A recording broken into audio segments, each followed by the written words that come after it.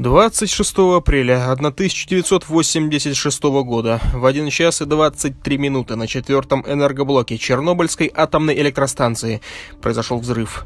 Сразу же погибли два сотрудника станции. Здание четвертого энергоблока было практически уничтожено. Крышку реактора, бетонную плиту весом около 1000 тонн сорвало с постамента. Около 190 тонн радиоактивных веществ, топлива и отходов были выброшены в атмосферу. Сегодня за аварией на Чернобыльской атомной электростанции плотно закрепился титул самой большой радиационной катастрофы в истории человечества. Однако такое ощущение и понимание произошедшего сложилось не сразу. По мере развития ситуации в разрушенном блоке, как в живом существе, для боровшихся с последствиями аварии людей поступали все новые черты. С вами Военная Техника 2, и сегодня мы вновь вспоминаем историю и хронологию событий аварии на ЧС, и начинаем свое расследование о том, как это было на самом деле.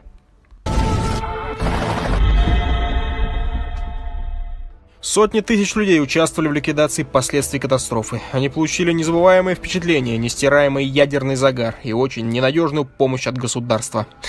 Ликвидаторы – так называли те, кто пытался минимизировать последствия аварии на Чернобыльской АЭС. Около 600 тысяч людей со всего СССР могут назвать себя ликвидаторами. Самыми первыми на устранение последствий взрыва работали сотрудники станции, пожарные и милиционеры. Все они были обречены. Двое погибли сразу при взрыве. Еще несколько десятков человек умерли в течение нескольких недель после аварии. Со всех уголков страны к Чернобыльской АЭС съезжались тысячи людей. Специалисты химики и физики, военные из войск радиационной, химической и биологической защиты РХБЗ, солдаты-срочники, строители, бульдозеристы, водители, крановщики, сварщики. Тысячи и тысячи людей. Малонаселенная сельская местность превратилась в огромный жилой лагерь. Всюду палатки, бараки, стоянки техники. Проселочные дороги забиты снующими туда-сюда грузовиками, машинами химической разведки, бронетранспортерами, бульдозерами и самосвалами. Тысячи тонн строительных материалов, целые поезда со сменными бригадами, большие шишки из московских министерств. Все это устремлялось к эпицентру катастрофы. Правительство взялось за решение проблемы масштабно, не жалея денег и сил. Но несмотря на обилие новейшей техники, главной движущей силой процесса были люди, специалисты и простые работники, которые своими руками исправляли последствия этой чудовищной катастрофы, не давая разрастись и до мирового масштаба. Именно они получали свои страшные дозы радиации, хронические болезни, проблемы на всю оставшуюся жизнь.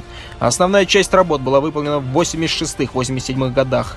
В них приняли участие примерно 240 тысяч человек а всего чернобыльцами могут считать себя почти 7 миллионов жителей бывшего Советского Союза. Максимальная доза радиации, которая позволялась набирать ликвидаторам, 25 рентген. Это составляло примерно половину допустимой дозы для военнослужащих при действиях на зараженной местности, 50 рентген. Порог острой лучевой болезни, грозящий летальным исходом, начинается где-то на уровне 100 рентген.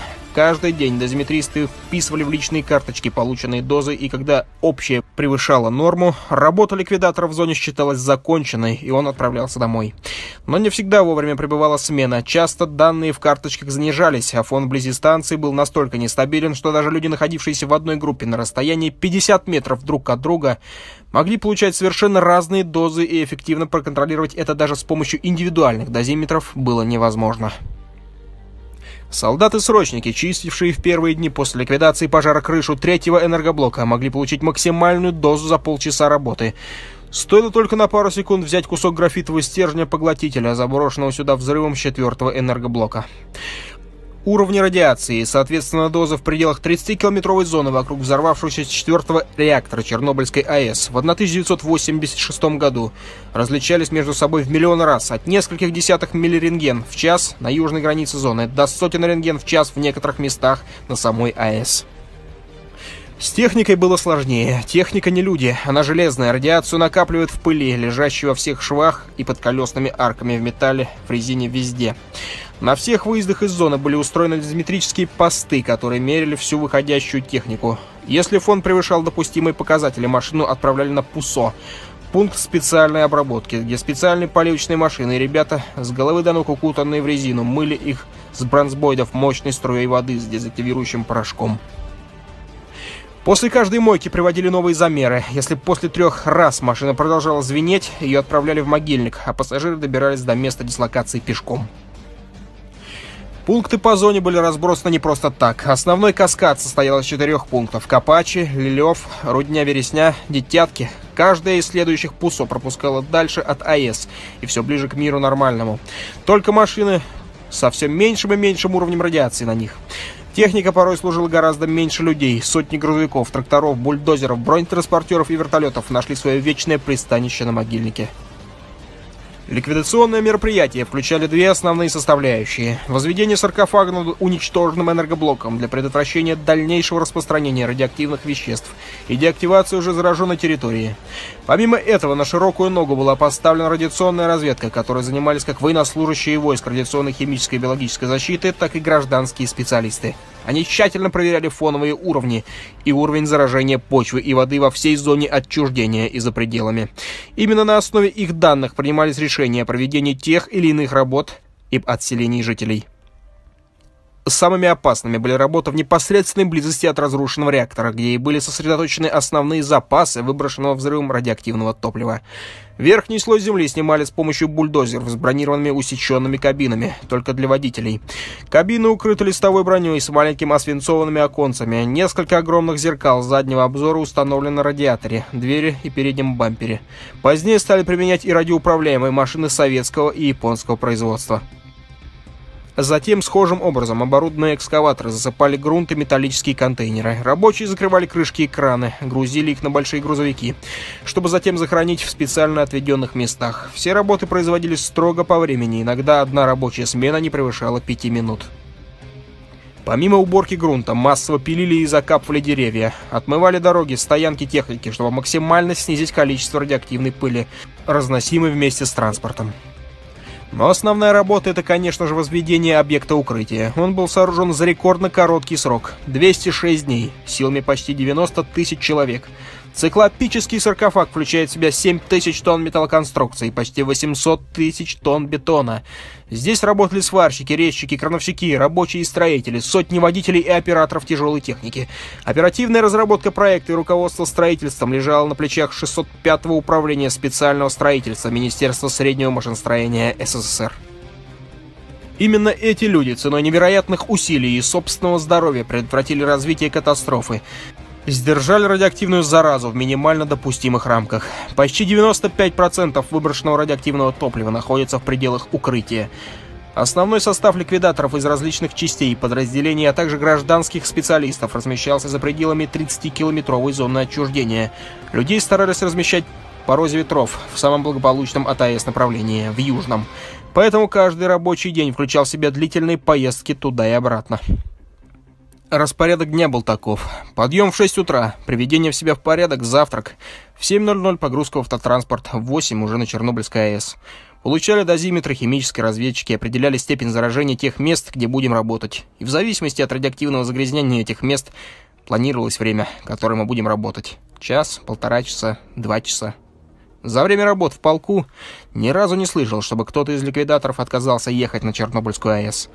Надо, значит, надо. Работать на станции считалось очень престижно. Поэтому каждый комбат стремился, чтобы его батальон работал на Чернобыльской атомной электростанции. По воспоминаниям ликвидаторов, одно из самого неприятного, что могло случиться, были отрицательное решение на посту дозиметрии, который выпускал транспорт из зоны. Если уровень излучения превышал допустимый даже после отмывки, то машину не выпускали за пределы поста. А это значило, что экипажу и рабочим теперь приходилось убираться на попутках, потом решать проблемы с транспортом, уже в расположении. Однако работа на ПУСО тоже была не из легких, приходилось работать в самую жару закутанными в резиновые плащи.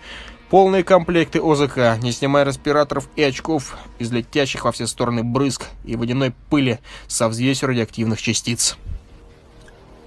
Но не всем ликвидаторам удавалось разместиться в относительно безопасных местах. Самые ценные и необходимые кадры проживали прямо на станции в непосредственной близости от самого разрушенного четвертого энергоблока. Вход в подвал ничем не примечателен. Тускло светят лампочки в тяжелых проволочных плафонах. Тенями вдоль стен скользят люди. Голоса приглушены, слышатся словно сквозь вату. После очередной пары задраиваемых дверей вхожу в большую комнату, размеры которой оценить трудно из-за полумрака. Очень влажно, циркуляция воздуха почти не ощущается. Мешают деревянные двухэтажные нары в несколько рядов. На них спят люди. Здесь расквартированы наиболее востребованные кадры. УС-605. Крановщики, экскаваторщики, сварщики. Те, кто всегда на расхват. Те, кто уже самостоятельно светится по ночам от постоянного переоблучения. Поэтому им света не нужен. Отдельные нары завешены простынями. Под края у многих подоткнуты сохнущие портянки, белье. Негромко жужжит электробритва. Мужик с непосредственно белым упырьего вида лицом сидит на нижних нарах, монотонно раскачиваясь вправо-влево. Увидев меня, он прекращает качаться и извиняющимся тоном говорит. Сон потерял. Разницу между днем и ночью уже не определяю. Живу только от смены к смене. Число какое сегодня? 6 августа. Я протягиваю ему сигареты. Он тут же жадно закуривает, не скрываясь. Работа ликвидаторов – это свидетельство мужества и героизма мирного времени. Самая масштабная экологическая катастрофа была побеждена благодаря неимоверным усилиям обычных людей. Из-за взрыва погибли двое сотрудников станции. Еще 29 человек умерли в течение месяца в московских клиниках из-за последствий острой лучевой болезни. В последующие годы непосредственно от радиационных факторов погибли более 60 человек. Еще десятки стали жертвами несчастных случаев. ДТП, аварии на строительной площадке. Во время операции по ликвидации последствий аварии. Тысячи людей так или иначе страдают от приобретенных заболеваний щитовидной железы. Болезней системы кровообращения, психоневрологических расстройств долгие годы после аварии. Из-за аварии на Чернобыльской атомной электростанции значительная часть Киевской и Житомирской областей Украины, большая территория в соседней Белоруссии и часть Брянской области России оказались подвергнуты радиационному заражению, что повлекло за собой отселение людей и введение специального пропускного режима. Были отселены полностью два крупных города. Припять с населением около 50 тысяч человек и Чернобыль с 13 тысячами населения. Множество деревень и сел в зоне отчуждения перестали существовать. Их жители стали вынужденными беженцами на обеспечение государства. Более 350 тысяч человек подверглись переселению сразу после аварии. Немногие рискнули вернуться домой. Около полутора тысяч человек вскоре после трагедии заселились в свои дома. В основном это были люди пожилого возраста, которым тяжело было оторваться от корней, которым не могли помочь родственники на Большой Земле. Сегодня в зоне отчуждения живет около 300 человек, не считая тех, кто работает вахтовым методом, а их около 5000.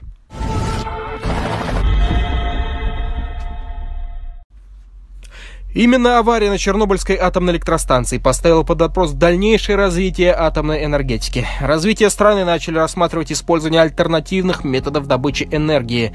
Строительство АЭС по всему миру приостановилось. Поднялась широкая общественная дискуссия о допустимости экологических рисков, связанных с деятельностью АЭС. Ядерный сектор наиболее развит в европейских странах. Например, во Франции доля АЭС в общей выработке более 70%, в Литве Игналинская АЭС вырабатывала больше энергии, чем потребляла вся страна. Всего в мире доля мирового атома около 3%. Однако до сегодняшнего дня все альтернативы атомной энергетики обладают внушительным набором минусов. Этот тип энергетики позволяет снизить выбросы парниковых газов в атмосферу и при нормальной эксплуатации несет значительно меньше рисков для окружающей среды, чем другие типы энергогенерации. И пока термоядерный синтез остается недостижимой мечтой человечества, мы будем свидетелями развития мирного атома. А с вами была Военная Техника 2. Всего вам доброго. Вечная память всем ликвидаторам. Увидимся в следующем выпуске на канале.